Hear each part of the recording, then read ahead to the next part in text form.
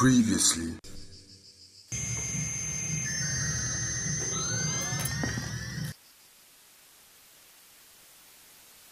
Mm -hmm.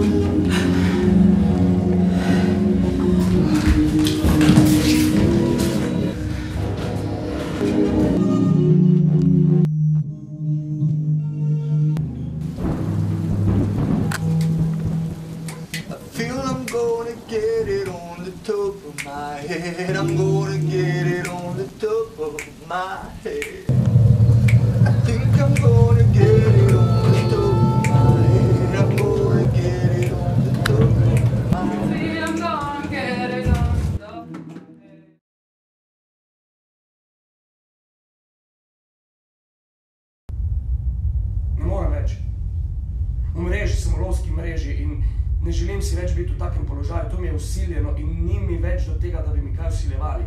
In na najno veliko osuplost, to ti moram priznati, najna ljubezen bila minljiva in je minljiva, kakor pes, ki je odslužil svoje. Izrabljen pes, izvotljen, izpraznjen, pokončan, brez nobene želje več. A kdo si ti, da takole govoriš z mano? A človeška bitja takole govorijo drugo z drugim? A se človeška bitja takole pokličejo, da si povejo, hotel sem govoriti s tabo, da ti povem, da je konec.